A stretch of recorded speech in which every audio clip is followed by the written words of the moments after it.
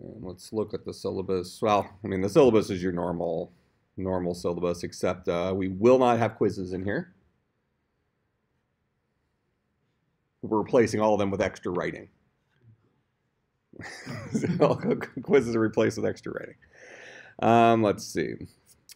So homework assignments, which are going to come in the form of, and I'll talk about these more in a few minutes, um, uh, idea papers, annotated bibliographies, and um, uh, let's call them short research papers. Those are going to be the, the, the form of all of our assignments. Okay, and uh, the course is going to go in two week cycles. So the first week we're going to be dealing, or the first two weeks we'll be dealing with one of the grand ideas of computer science, which we'll talk about today. So next week, what you'll submit is an idea paper as well as a annotated bibliography for the topic you're going to write your paper that's due in two weeks um, about. And we'll talk about what those things are and things like that here in a few minutes. But uh, um, and then in two weeks you'll have do the next week a idea paper and an annotated bibliography for the next grand idea of computer science that you're going to be dealing with a topic on.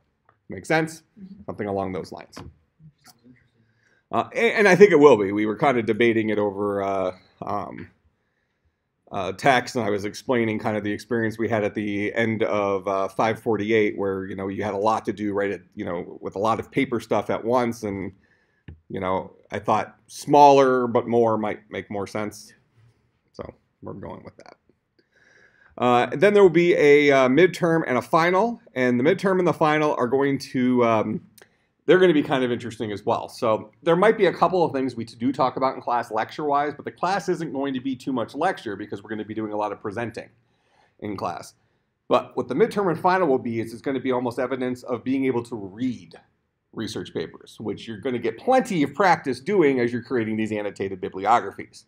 So just to kind of go off on a tangent along the lines of those right now, um, well, has anybody in here ever written an annotated bibliography?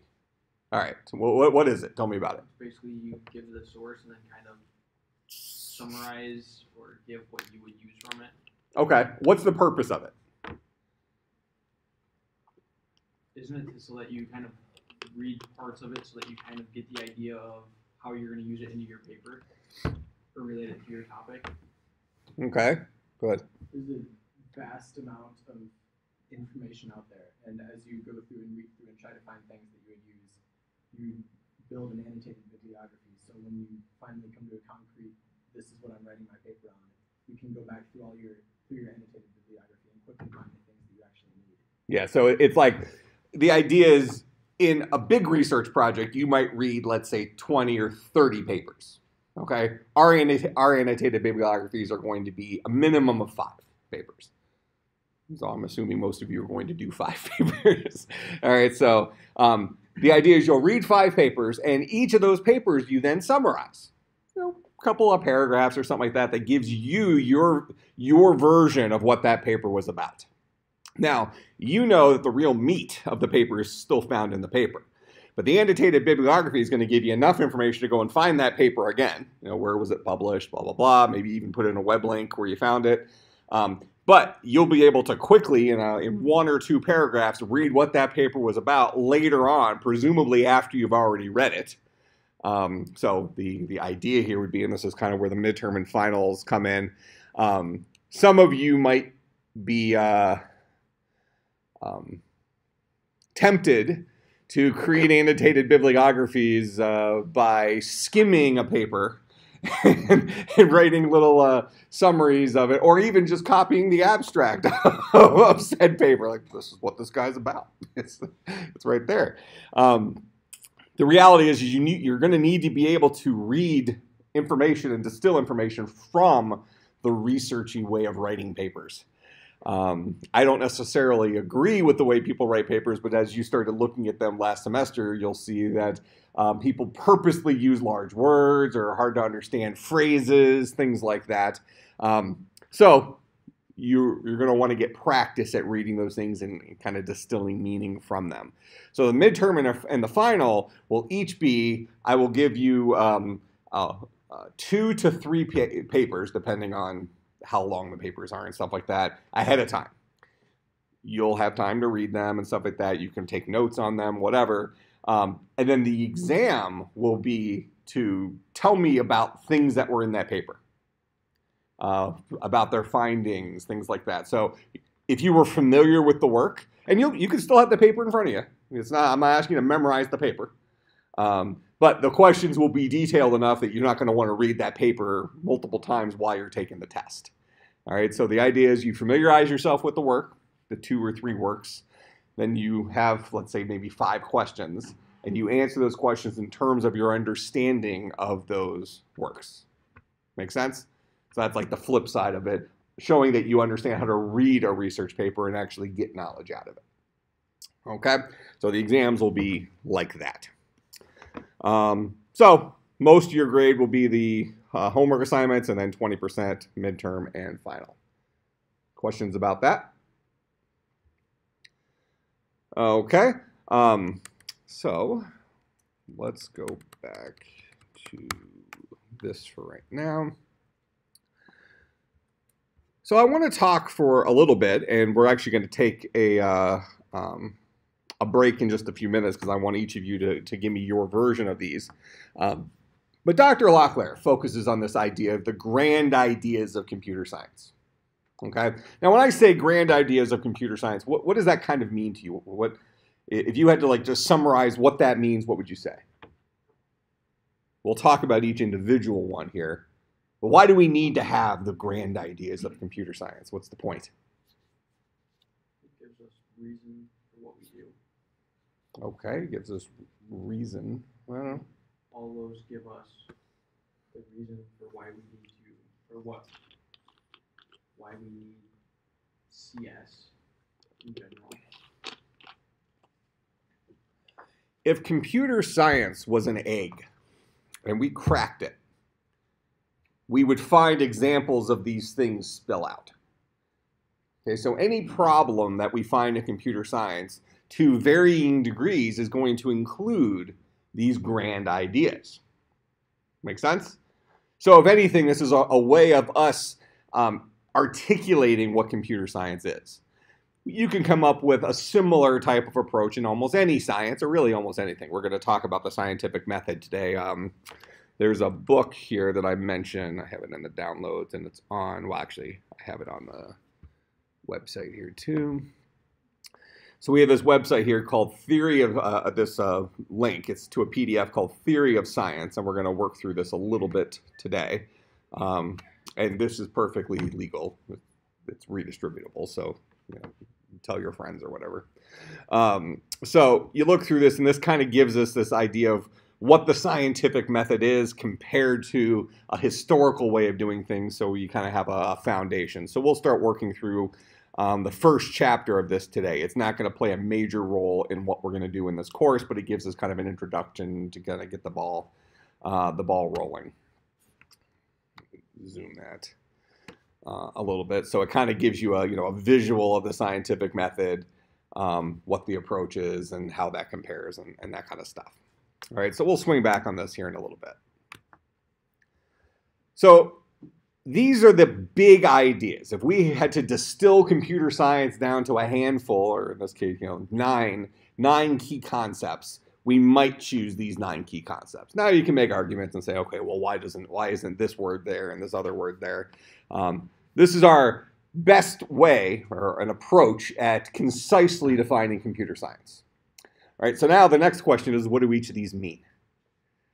Okay, so when I say algorithms, let's create a slide for each of these. What are algorithms? Detailed set of instructions. Detailed set of instructions.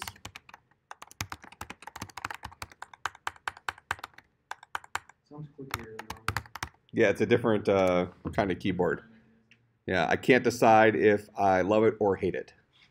It's definitely not in the middle. I definitely don't just sort of like it. It's either the best keyboard I've ever used or I can't stand it. And I'm not sure which the answer is. I know. All right. So, what does this mean? how how, do, how are algorithms part of the grand idea of, of computer science? Why do we need them in computer science? What's the point? What's the whole point of computer science? Ah, well, automation's coming up here in a little bit, right? All right, so uh, tell a computer what to do. Or Dr. Locklear starts off with this idea of computer science as problem solving, right? All right, so we're solving problems. We happen to be using this dude sitting in front of us. Oh, I, I like the, so we have three Mac, is that a Mac? That's not a Mac. So we have uh, uh, four Mac, well, three and a half Mac users, and then three others. You're like counted as half old, Alex. Why? Why not? It's fun. It's function just. You have any you have any USB C ports on that? No? I don't know. That's a dinosaur over there. That's an old. Oh, that is an old one. That still has a, dr- a DVD drive in it. Um, yes, Yeah, it's on the right 2010 is what the pretty old.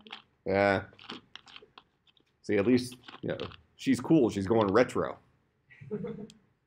Yeah, You just threw stickers on yours to make it look legit or something. And he's got an that's an Air, right? Or is that a 13 inch Pro? It's a pro. So what do we need algorithms for? What's the point of? I mean, you specifically said it's a detailed set of instructions. What do we need that for? For if computer science is problem solving specifically involving us telling a computer what to do, why do our instructions need to be detailed?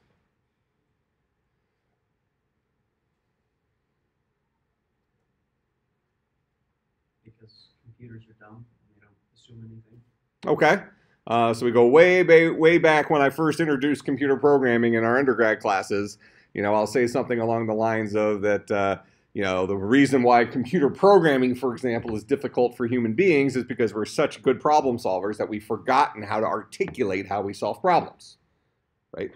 We usually use walking as the example. You know, all of us can. You know, we walked to class today. Ha- you know, some of you probably were texting while you were walking. You didn't bump into anybody. You didn't fall over wasn't even worth your full attention. Yet if I asked you to describe, to give me an algorithm for walking or a recipe for walking, we would find that extremely difficult, probably impossible for a human being to fully articulate the algorithm for walking, right? We don't know the names of all those muscles, you know, that, that are involved in walking. You know, like, well, how did you uh, not fall over? Well, I just didn't. Okay, that's what we do. Now we can we can recognize as human problem solvers that yeah, there's more than meets the eye there with walking. It's not quite as easy as we make it look. But at the end of the day, we realize there's a level of abstraction there, which we'll talk about uh, soon, um, that is really unknown to us, right? We don't control the little contractions of all those muscles and things like that. At some point, it just sort of happened. You know, we were babies, we stood up, we fell over, we stood up again, we fell over, and we finally figured out how to not fall over. Then we decided, then we figured out how to do that while in motion, right? And it was all kind of just practiced. Okay, it's like practiced mayhem. Um, so walking, I once heard it described as the um, the act of not falling in motion or something like that. Um, so specifically, we need to talk about algorithms as being detailed instructions a recipe, unambiguous set of instructions, uh, because that's what we need when we're dealing with computers. We have to fully articulate the solution to a problem.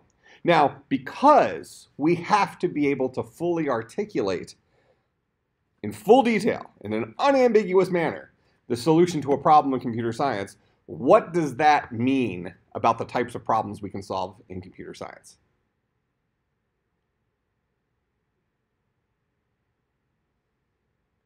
What does that imply? If we as human beings need to be able to fully articulate the solution to any problem we intend to solve, Well, a human has to be able to do it. okay, They have to be- which which implies what?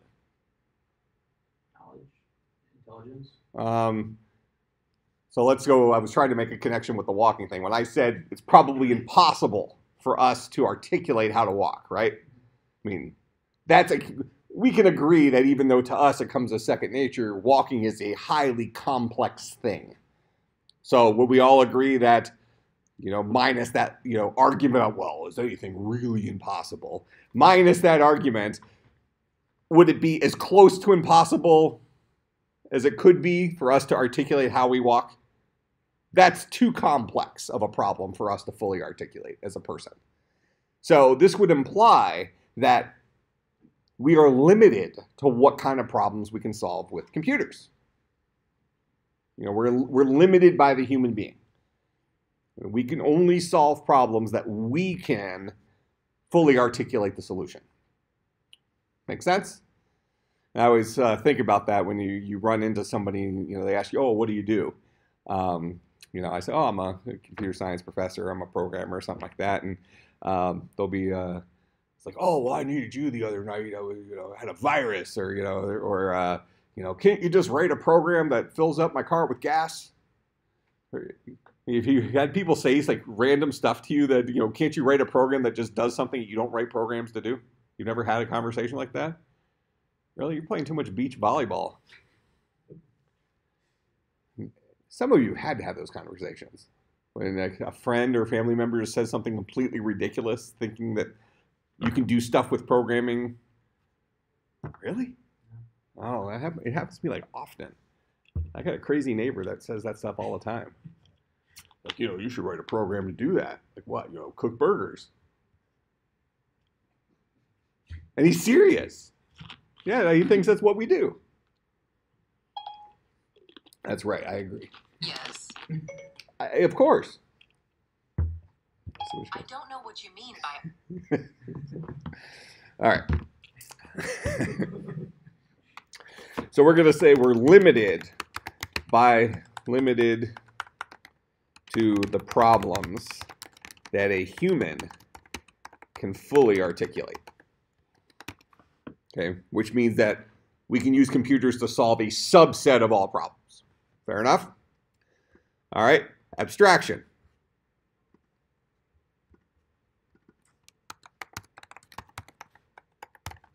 What is abstraction? The ability to break it down into simple steps. Okay. Simplification. If you go back to the 150 slides, abstraction was what Einstein simplified, I think, is what Dr. Locklear has on those slides. So simplifying a problem into smaller steps.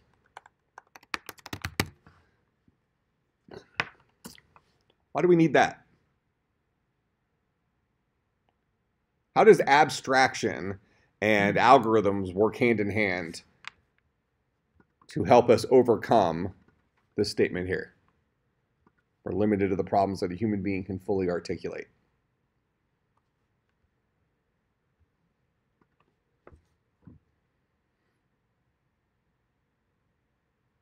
Maybe we can As you break it down into smaller steps, you keep- are able to do one short task at a time, which it be which is applies to the algorithm because that's what algorithms do. They do one small thing at a time.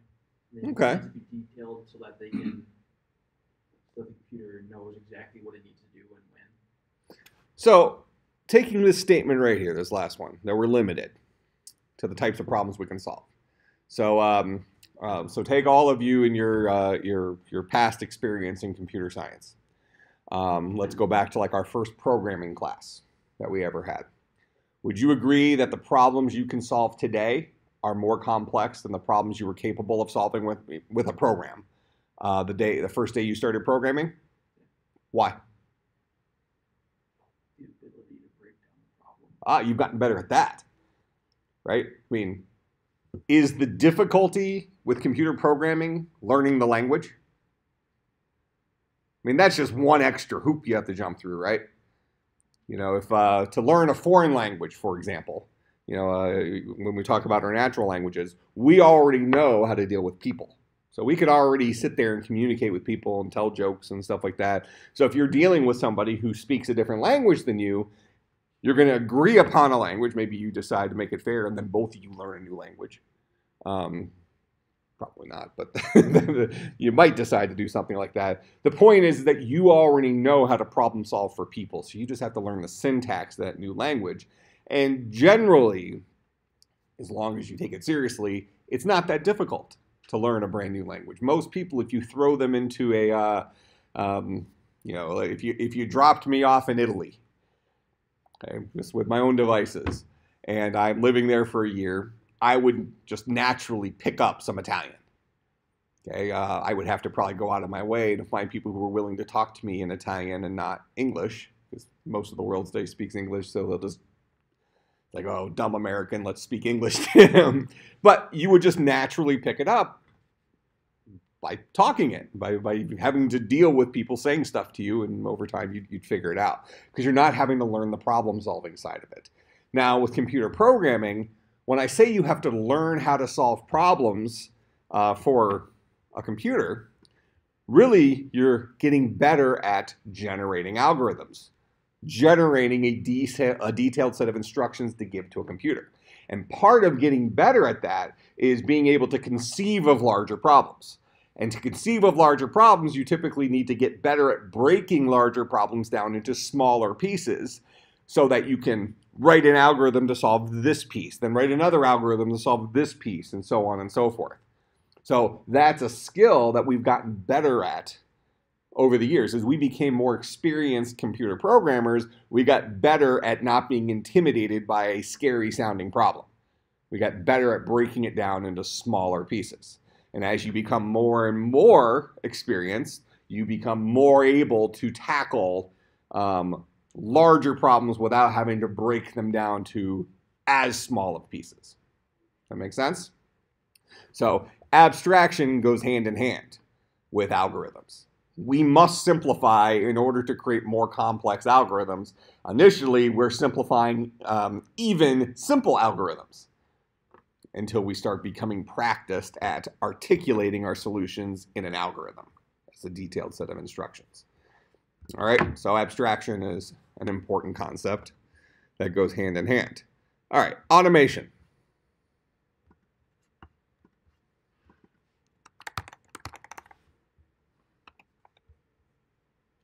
Tell me, tell me about this. What is automation?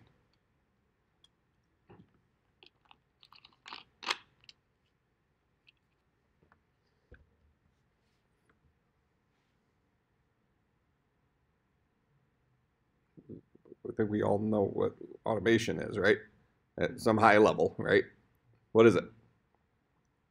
It's the capability of the programming computer to do things on its own without us constantly telling us to do Yep. the next step. set, set it and forget it right we want the i mean one of the reasons we like computers is they can do things they can do mundane tasks that would eventually become boring or error prone for human beings so we're using these computers as tools you know rarely you know we have a whole area of computer science like an artificial intelligence where we're we're dabbling with trying to make a computer seem more human like right um, and that's actually a very weak area of uh, computer science. You know, we um, there's an argument: of can we is perfecting AI even a thing? Is that possible? We have movies about it, but you know, can we ever really reach that?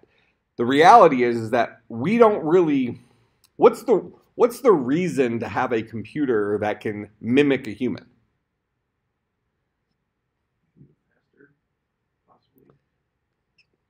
Well, I mean, I, I guess I asked the wrong question. What's the point of having a computer that a human being would confuse with a human? You know, like when you when you call one of these uh, call centers and they have like one of these robots that talks to you, you pretty much know you're talking to a robot, right? Um, they're not convincing you otherwise, and usually they're frustrating, right? They want you to say the the, the phrase in just the right way, and you know, then then old Alex gets all frustrated and wants to talk to their manager, and and the person said to go back to the main menu, press zero, and then he starts screaming. Uh, I've seen this happen in a parking lot once, and um, so I guess I it sounds like it would be cool to be able to train a computer to do human things, to act human. But I'm not sure how practical that is at the end of the day. Computers are good at what computers are good at. Well, computers are good at what human beings have programmed them to be good at. But human beings aren't really weak at being human beings. We want the computers to do that mundane stuff, the stuff that was error prone for us when we get too tired or we lose our concentration, that kind of stuff. Okay, so we like to automate tasks. These are a tool. Okay, these computers are tools for us, and through abstraction and algorithms, we solve problems that tend towards automating tasks that we don't want to have to do ourselves or would be um, too complex or, or too uh, um, error prone to do ourselves. Okay, so uh, how do we say automation without, how do we define automation without saying automation? What phrase did you use? Just uh, continuously use those tasks. To do a task with, continuously do a task without being told the next step.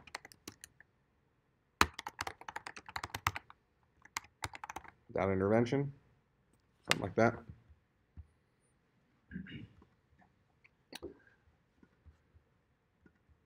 Okay. Information. So, so far, this goes back to that statement about if we think of computer science like an egg and we crack it, we have all this stuff fall out. Are we starting to see the link between these things? You know, they, they don't they don't exist independent of each other. They're all part of the grand ideas of computer science. They're all part of what computer science is. All right, so when we say information, information is part of what computer science is. What are we talking about?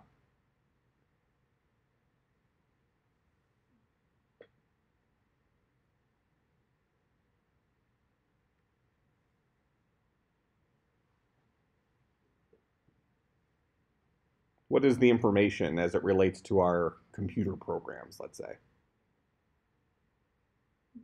Yeah, the data on which we're working. I mean, usually we're, we're operating off some level of inputs, right? It might be, you know, press one to, you know, reach this department or press two to reach some other department, something simple like that. But more often than not, I mean, so like a phone system like that, that would be a form of automation that isn't so complex, but it's replacing a human. It's replacing something that is mundane, easily replaceable. Because we could certainly put a human at a call center, right? They existed for years. You know, and a human being can pick up the phone. Hello, how can I direct your call? And they say, well, I'm trying to reach so and so. Okay, one moment, please. And they push a couple buttons, they type in the extension, and it takes you to that person. Now, that's personal.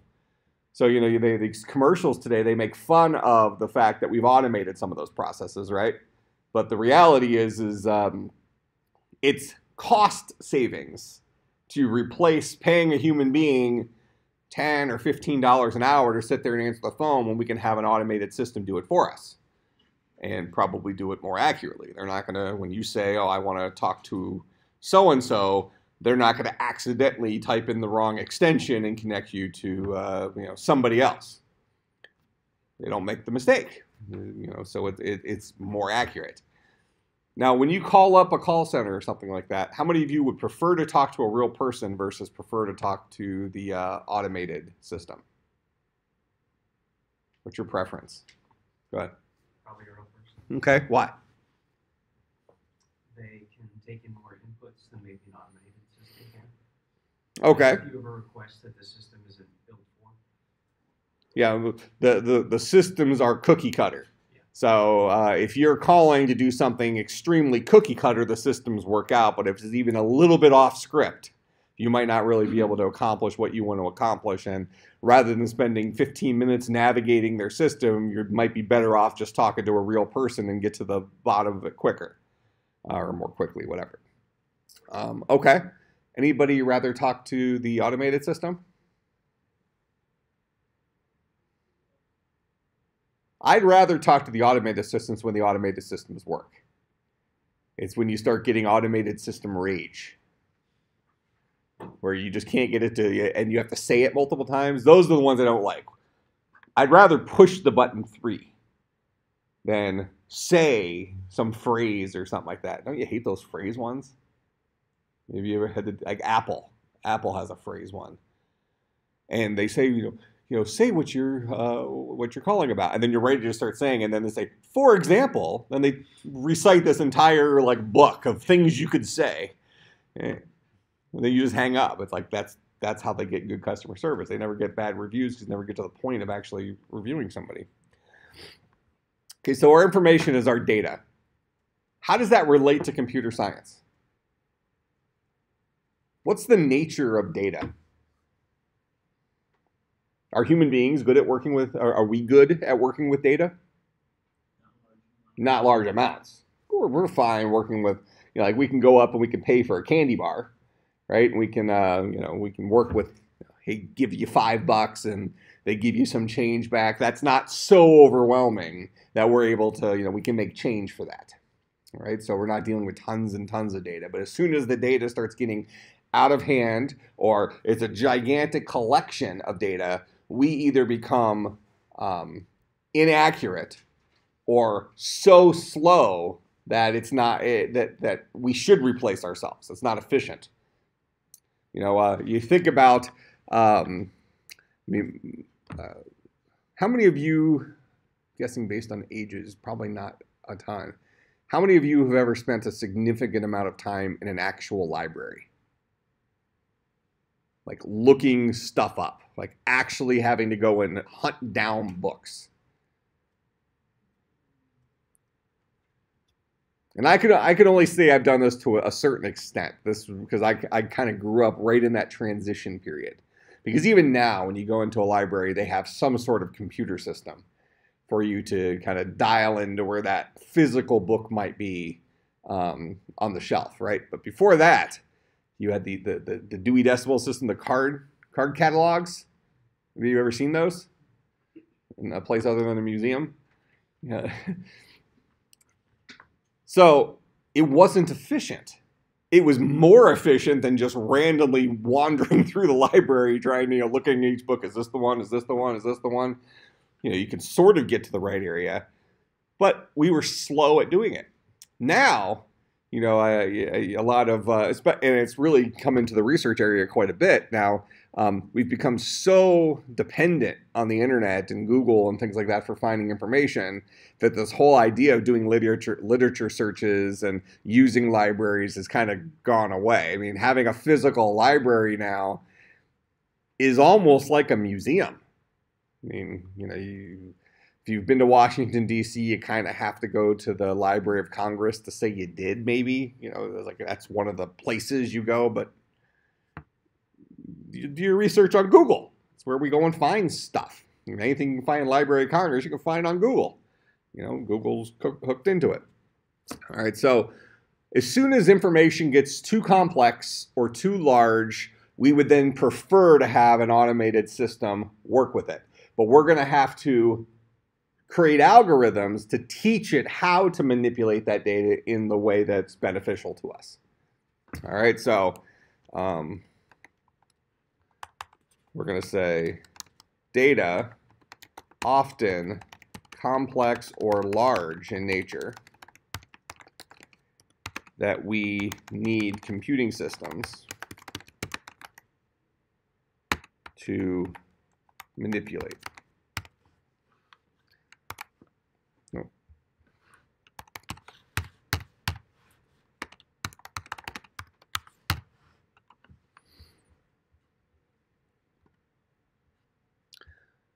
All right.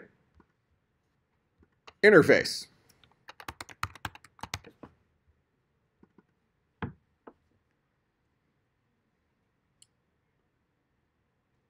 Now, one thing we, we're going to see here is that some of these things could apply to things outside of computer science. Interface would be one of them, right? Um, so when I say interface, what am I talking about?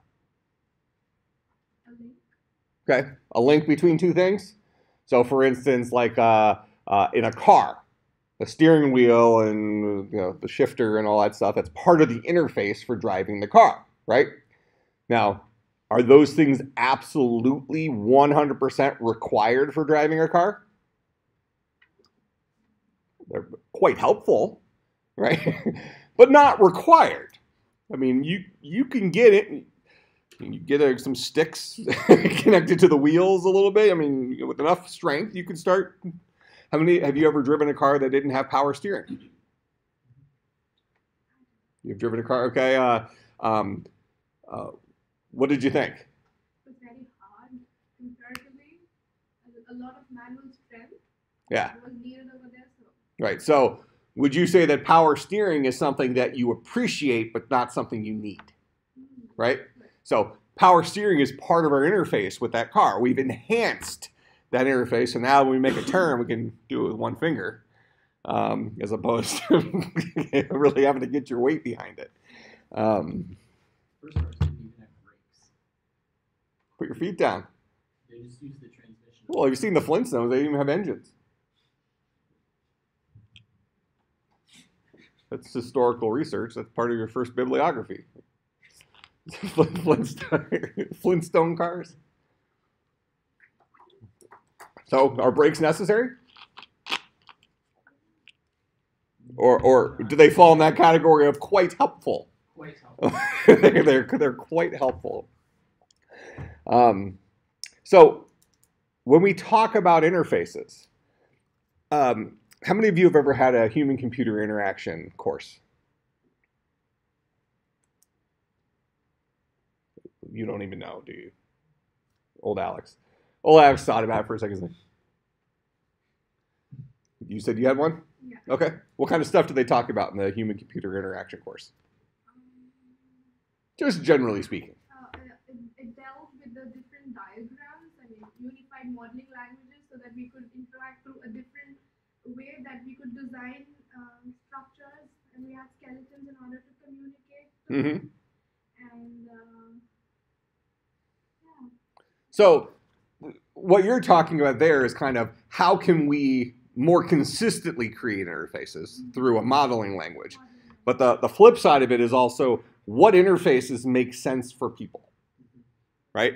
And have we have we seen those evolve over the last many many well really we've seen those evolve over all the all of history, right? You know, cars, original ones didn't have brakes, didn't have power steering, didn't have windshields, didn't have all these things, and you know, you get enough bugs in your teeth, you put a windshield on. You, you hit enough things, you start thinking about, well, how do we slow down more quickly? You know, we enhance our interfaces to make life more easily. When we deal uh, more, uh, more, most easiest, or yeah, that's that's the right English, I think, right? okay, to make uh, uh, uh, life easier. Um, now, specifically, we deal with human-computer interaction they talk about things like placement of buttons and, and, stuff like that. How many how many buttons is too many buttons? That that kind of stuff. Um, and even when we think about that, if you uh, uh, have been a smartphone user for uh, for a very long time, um, you've seen the nature of mobile apps change, right? You know, in fact, Apple just made this big push this last year, and I think Google uh, did a, a similar thing. Um, but Apple made a big push where they went uh, through the App Store and pruned a bunch of old apps off the App Store that kind of had interfaces that didn't really live up to modern interface design standards. I had something like 40 of my old apps yanked off the App Store for just having old interfaces. So then I choose do I do I go back through and update the interfaces or do I just abandon it depending on, you know, how much money they were still generating that kind of stuff. But, you know, the point is is that what we deem to be acceptable today might not be acceptable in 10 years and what was acceptable 10 years ago might not be acceptable today. Um, so this idea of an interface is this constant moving target, but when we think about interfaces in terms of problem solving, is the interface itself part of the problem solving? How important is the interface? Yeah, it, it really is one of the most important parts, which which becomes a very interesting sticking point, I think, for computer scientists. Um, if you've worked in industry or worked with folks in industry, one um, issue you'll run into, I think, with with computer science uh, traditional people, is programmers think that the programmers are the most important. That's what programmers think. Okay. Now let's go over on the graphic design side of things. So the graphic design people think that the graphic designers are the most important. we don't understand the program. They're all mathy and nerdy. We don't understand it. We're we make things look good. They make things work. They're both required, right? You know, we're not going to say it's acceptable for having something that looks great that's non-functional. But we're also not going to say it's acceptable for something that works great but looks like crap or is non-functional because the interface is garbage. All right, so if I put you in front of some amazingly created car, works really well, has amazing gas mileage, whatever, whatever you deem to be good about cars, uh, and we put in a really crappy user interface, like you know, there, there's no uh, uh, steering wheel or something like that, you're not going to deem that to be a very good car, regardless of the technology that's under the hood in the car, because the interface is lousy. Make sense? So to say that the interface is one of the most important parts, I think, is fair. Now, somewhere in the middle there, though, there, there there's some balancing point, isn't it? You know, we started off today uh, bashing Apple. You know, and so let's kind of circle back on that a little bit so we can keep it in the technology realm here. Um, Apple certainly puts interface ahead of what's under the hood. I mean, that's a big problem people typically have with Apple. I mean, I think this laptop, which is their their new MacBook Pro, is like kind of the perfect example of this. The guts inside this laptop could be found in a machine for half the price. And I'm being generous when I say half the price. Really less than half the price. You know, uh, so this was like a $4,800 laptop. You could probably get pretty equivalent power, let's say for certainly under 2000 I would say. So why is this 4800 bucks? Well, I mean, the thing is cut out of a single piece of aluminum, and it's Apple aluminum, not normal aluminum. So you could use this to, to kill somebody, probably. And I mean, it, maybe it would bend, but not very much. You know, these plastic laptops are just going to fall apart. Well, we don't we don't use laptops to do that. So it's not your typical weapon of choice. So kind of who cares, right? Um, it almost seems to me that that Apple focuses too much on design, too much on interface, um, and kind of ignores that technology push on the other side. Now, having said that, sometimes you run into something that just makes sense, and what makes sense about it is the interface like, oh, well, that's not really a, a very, uh, so uh, the iPod would probably be a good example, right? Um, so the idea of carrying music with you came before the iPod. What did Apple do? Apple said, well, now you can carry more songs with you. So can we actually put a hard drive in something that'll fit in your pocket so you can actually have more songs? And can we give you a convenient interface so that you can get to your music in a reasonable way? That's the problem that Apple solved. So they did that. I mean, the iPod was really mostly an interface solution, not a technology solution. MP3s already existed. In fact, if anything, Apple introduced the AAC format, which was proprietary and made things worse from from that perspective. Um, you know, but uh, uh, interfaces are, are an integral part of any solution, but they're not the only part. They have to be married to the actual uh, abstraction and algorithm in order to accomplish stuff. But when you specifically deal with human computer interaction, they're talking about how do human beings interface with computers. Um, so, kind of an interesting um, uh, area that you might choose to do when we when we get to the research uh, the research area for interface is look at touchscreen laptops. Uh, how many of you have a touchscreen laptop? Okay. I know none of the Mac people do because at least Steve Jobs said it never made sense. Who, who, who knows what? Um, now, do you use your touchscreen very often? No. Okay. Um, would you say it's helpful or gimmicky? What do you mean by gimmicky? Um, Just like an added feature, just to say it's added. yeah, yeah, yeah. Yeah, kind of. I'd rather have my hands on the keyboard. Yeah, I mean, it's more efficient to get stuff done that way. Um, and I feel similar, you know. So, so Apple's made a little transition towards that. You know, the big thing with these new MacBook Pros is that the they call it, the Magic Bar or something. So at the top of the keyboard, they've taken away those function buttons, and instead they put a uh, another screen there. I have found it useful for the escape button, but since there's no haptic feedback, uh, you're not sure you hit it. but uh, it feels gimmicky to me. Now, who knows? Maybe with people being able to write software specifically for that, they'll come up with some interesting stuff to do with that. And same thing, every now and then you might find something on the touchscreen like, oh, that's helpful. That's you know that makes sense. But it's one of those things that it's more the exception than the rule.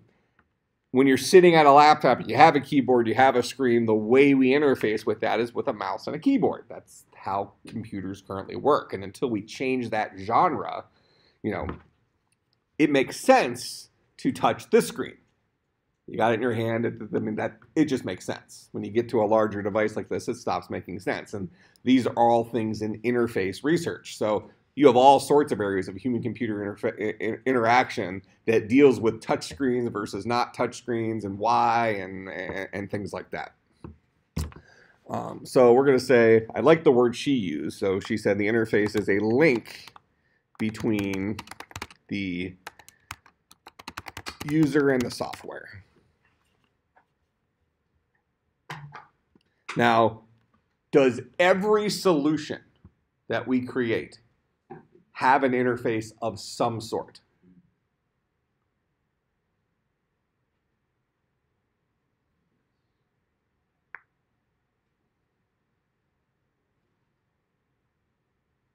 Yeah. Some interfaces might not be interactive interfaces, right? So only some programs might have an interactive interface. But all programs have an interface at some level, even if it's something that a human being either doesn't directly interact with, um, but there is, at the very least, you can go in, you know, if you double click on an icon in Windows, you can go into Task Manager and kill it off. Well, you had an interface into that program through that. It was a hook into the operating system, something like that.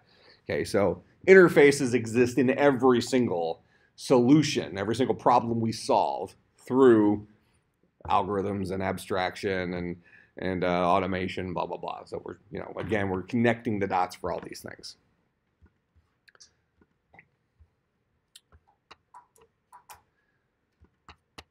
So now things, pun intended, get a little bit more abstract. What's intelligence? provided by the human. It is the ability to use the application or the program that was created. Or, well,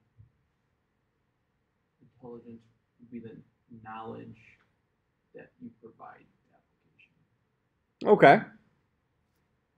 Just knowing, like when we're talking about how to walk, you just know. And intelligence tries, um, trying to use a computer to simulate the, just knowing how to do it without programming each specific step. Okay. So are computers intelligent? we have the ability to uh, understand and you know reason it justifiably. So maybe humans are. I'm not. I'm not. Uh, so it shouldn't be maybe. Humans are very uh, intelligent and computers for sure, but uh, we can reason, uh, specify it more uh, in a justifying way. Okay. So it's clear humans are intelligent, right? So we're the intelligent ones. And any intelligence that a computer seems to have, we probably put it there, right? That's our our algorithms, our abstractions, whatever. We we made it seem intelligent, but that intelligence had a source. Okay, and that source was us. Okay? So how does intelligence play into so this is again the computer science is an egg, we crack it, all these grand ideas come out. How does intelligence play into every computer program, if we just want to use this generic term, but um, you know, how does it play into every problem we solve using a computer?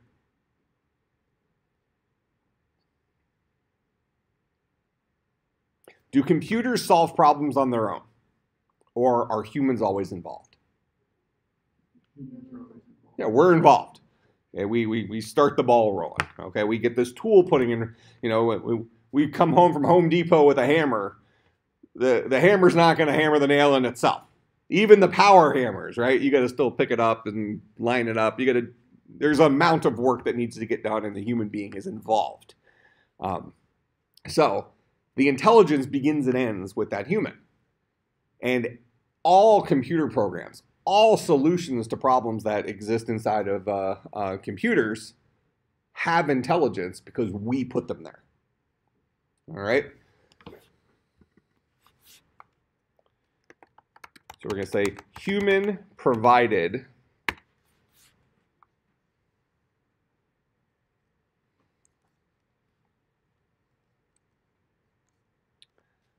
I don't know the best way to say it. Here we'll say human provided ingredient that makes all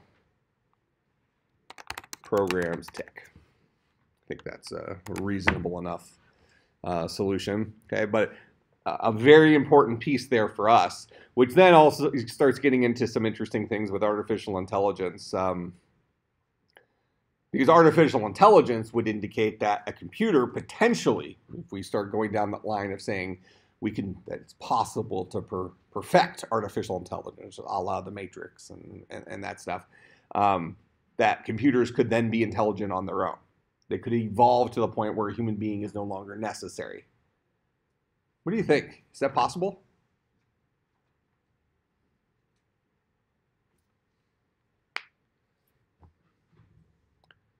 I mean, I, I, think we're all relatively good with, at the very least, the human beings had to get the ball rolling, right? We had to use our intelligence to start the process. So, you know, my, um, uh, I guess, abstract question is Is it possible for one day a human being to create a program that is self evolving that could potentially exhibit intelligence on its own without human intervention? Then you get down to this idea of what's the nature of intelligence. What does it mean for something to be intelligent? And is it real or is it fake intelligence? Does it just seem intelligent, but it's not really intelligence? So you think, yeah? Tell, tell me, tell me why. Um, well, you saw the Matrix; it went down. No, I. Well, I mean, if you, if you just think about it, if you, someone does create a program that does take in what's going on around it, I feel like it's going to be able to, over time, create or um, be able to use past situations to make decisions for the future. Is that intelligence, though? Yeah. Is it? Mhm. I don't know. Well, intelligence, I would say, would be using your past knowledge in in your current situation.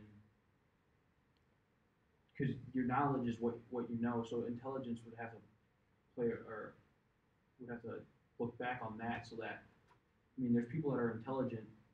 I mean, that don't necessarily, I guess, have common sense. They're book smart, but so they know a lot, which a computer can know a lot. That's just storing everything.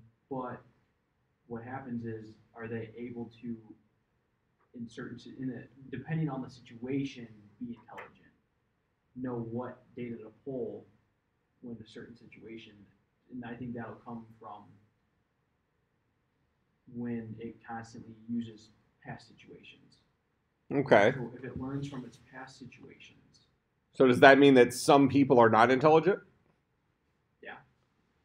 I, I think that um, Do you mean that, or do you mean that some people appear to be more intelligent than others? yes, So do would you say that all people are intelligent to some at some level? yes. Okay. So I guess what I'm what I'm kind of hunting for here is at what point what what is the minimum requirement to say that right there is intelligence? Go ahead. we still don't know. We, yeah. we, we can come up for, with things that intelligence will exhibit, but we we can't we don't know yet. We haven't Okay. Come up with a rigid definition. So we we we've seen the results. We can look at something and say, yeah, that was created through intelligence. But we can't go back and say, this is that intelligence. This this is what made that intelligent. We we have trouble articulating what is intelligence, although we can see evidence of of intelligence. We feel confident that that's evidence of intelligence, but we have problems articulating this side of it. Okay, so this almost comes back to this idea of like, well, we can walk because we can walk. Um, there's aspects of that we just don't we just don't get.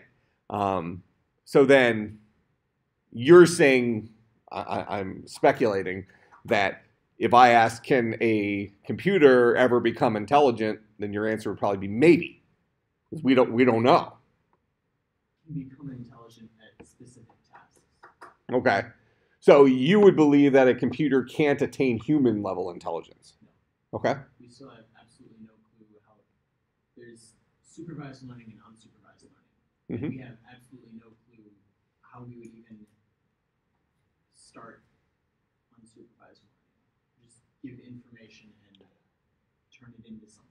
at the same time, just because let's say we had a computer that was extremely uh, had a lot of data, could fall back to a lot of past circumstances, take a lot of things into consideration before it makes a uh, you know has a response. Just because a computer seems intelligent doesn't mean that it is. You know, intelligence could be faked. Let's say, um, this is all hypothetical, right? Intelligence could be faked through high speed and a lot of data. I'm oversimplifying, I'm sure, but that seems to be plausible, at least, right? So, is this word intelligence here in um, as it relates to the, the grand ideas of computer science kind of a this it's like this vague kind of animal we feel it exists but it's really hard to kind of articulate what that is. Well, wouldn't you say that human intelligence is using a lot of um, data or past circumstances to make decisions? probably or at the very least we might suspect that but but i don't know that we know. Like i think for me i would say i think i'm pretty intelligent but why? What makes me intelligent? I don't know.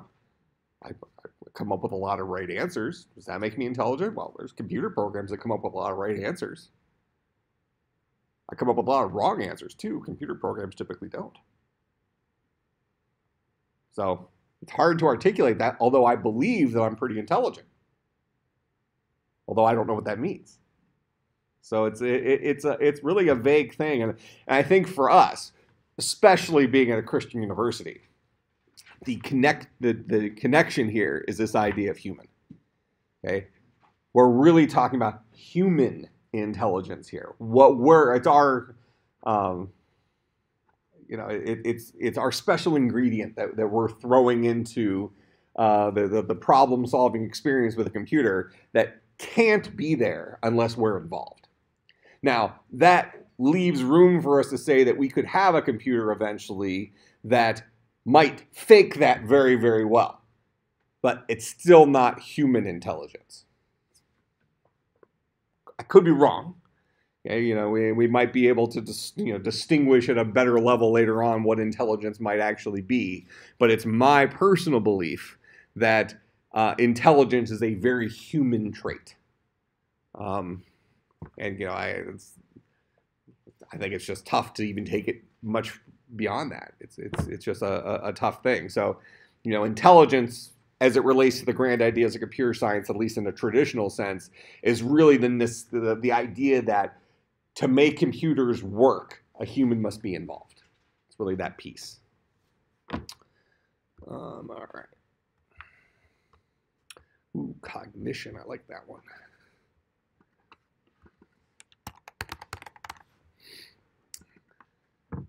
What's cognition?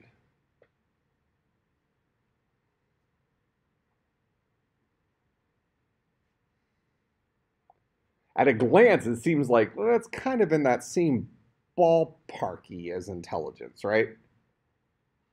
It's another one of those things that's going to be a little bit hard to articulate what that guy is. Maybe I want to take a stab at cognition.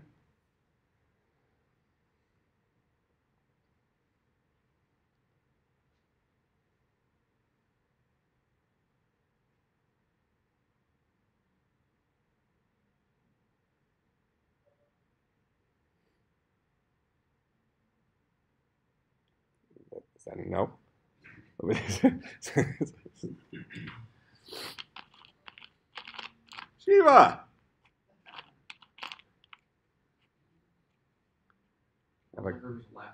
That's no. He's he's walking in right now. You can come in. We're still on recording, but you can come in. Right. You're on break.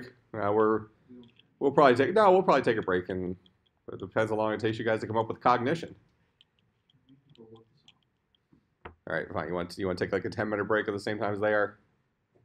Let's take a ten minute break, and we'll come back.